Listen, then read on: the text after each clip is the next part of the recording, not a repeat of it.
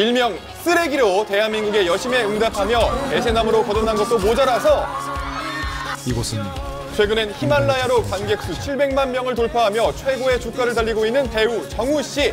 그런데 시집 올래? 오빠가 진짜 잘해줄게. 여러분 정우 씨가 결혼을 한답니다. 그것도 3일 후에요. 진짜요? 바로 오늘 자신의 SNS에 한 글자 한 글자 정성 들여 쓴 편지를 올리면서 팬들에게 결혼 소식을 전한 정우 씨. 출연 중인 작품에 누가 될까 싶어서 조용하게 준비했다는데요. 갑작스러운 소식에 팬들은 깜짝 놀라면서 단체 멘붕! 이 남자 대체 뭐죠? 잘해줄 땐 잘해주고 네. 다정다감한 편인 것 같아요. 다정다감한 정우 씨의 사랑을 한 몸에 받은 주인공.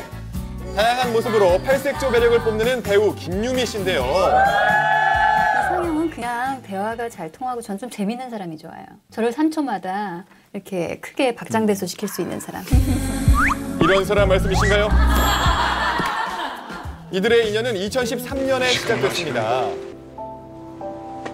영화 속에서 같이 껴안고 울고 불고 그러다 보니 어느새 남모르게 정이 들어버린 두 사람 사랑은 이때부터 시작됐나 봐요. 얼레리 꼴레리 누가 먼저 고백한 거예요? 고백은 그 분이 먼저 네, 이거는 저도 사실 알고 있어요. 김유미 씨에게 쓰레기란? 사랑합니다. 네. 2013년 11월 공개 열애 후 서로의 사랑을 숨김없이 당당하게 고백해온 정우, 김유미 커플. 고맙고 잘 만나자.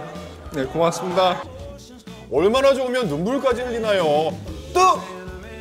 3일 뒤에 치러질 두 사람의 결혼식. 예물 예단은 물론 청첩장 주례도 없는 역대급 small wedding이라는데요. 하긴 더 뭐가 필요하겠습니까? 두 분 행복하세요.